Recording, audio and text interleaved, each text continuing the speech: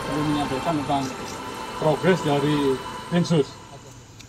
Hari ini progres dari tim sus adalah melakukan pendalaman hasil uji balistik yang sudah dilakukan pusat laboratorium forensik Polri.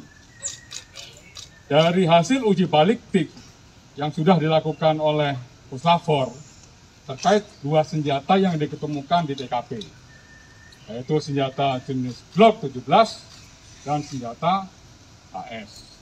Pendalaman yang dilakukan di TKP pada hari ini yaitu untuk mengetahui yang pertama adalah sudut tembakan.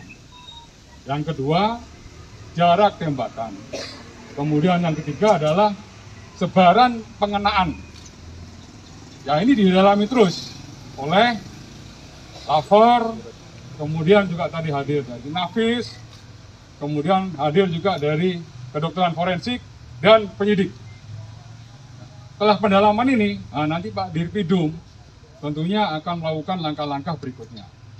Saya minta kepada rekan-rekan untuk bersabar. Ya karena tim sus bekerja tetap mengedepankan satu ketelitian, kecermatan, juga kehati-hatian. Ya karena kerja tim sus nanti ini akan disampaikan secara komprehensif dan memiliki konsekuensi juridis. Ini yang saya minta kepada rekan-rekan untuk bersabar, biarkan tim sus bekerja secara maksimal dan proses pembuktian secara ilmiah ini harus menjadi standar operasional di dalam proses penyidikan. Ya.